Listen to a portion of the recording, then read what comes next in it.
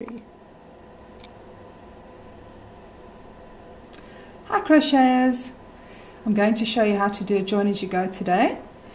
Whenever you do a join as you go, the motif to which you are joining will always have round 5, which is the grey round, completed.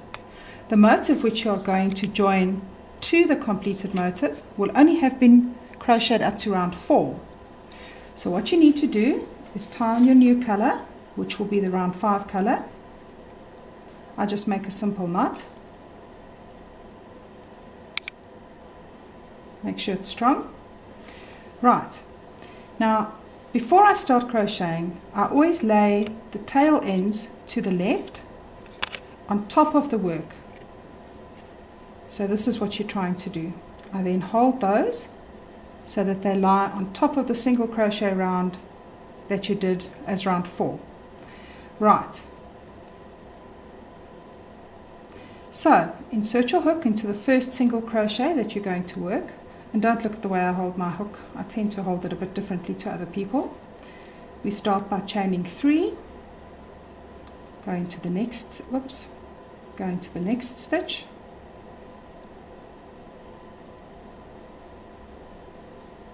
Right. And you'll keep going until you're ready to start your first join. So how do you know when you're ready to start the join? If you have a look at the single crochet round 4, there are 7 stitches. 1, 2, 3, 4, 5, 6, 7. Whenever I plan to start joining, my last double crochet will always lie between the fourth and fifth single crochets of round 4. So one, two, three, four. So I still need to make another stitch. Right, let's do that. Okay, so now we're ready to join. Do you see how I've joined the tails into the actual stitch? Which means later I don't have to sew in any tails. Okay, let's have a look. You will always join from petal apex petal apex, which is the space over here, the chain space between the two double crochets, always join from that point to the next single crochet, uh, to the next double crochet chain double crochet space. So if you count between there, there are nine double crochets. So let's start. Your first stitch will be a slip stitch into that chain space. So it's a little hard to show in the video, but you'll insert your hook into the space that lies at the petal apex. You'll then bring your yarn round hook, draw it through. That's your slip stitch. Now you need to do the second double crochet that forms this flower petal apex over here. So let's do that.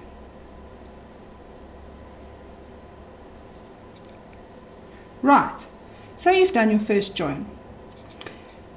Next you need to slip stitch into the next along space that you find of round 5 of the completed motif, which if you can see lies just to the left of it. And you go into that space, not into the stitch, into the space between the double crochets. Yarn around hook and draw through. There's your second slip stitch. Yarn around hook and make the next double crochet into the next space along of round 4. Right. Same story. Slip stitch into the next space that you find between the double crochets of your completed motif, yarn around hook, and draw all the way through. Continue in this manner. Do you see how I'm holding the tails in between the stitches? This means I don't have to sew in any ends later. I'm just going to draw this out so you can have a look. So that's what your work should look like at this point. You've joined flower apex to flower apex. You've started to create round 5 of the motif that you are joining to the completed motif. And you continue along until you get to the other chain space.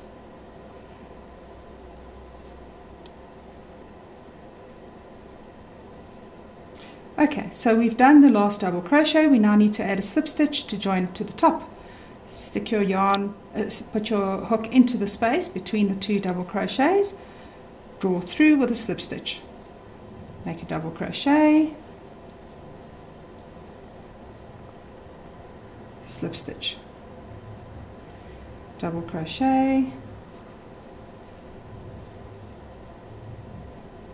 Slip stitch. Double crochet. Into the next space a slip stitch double crochet and so you continue along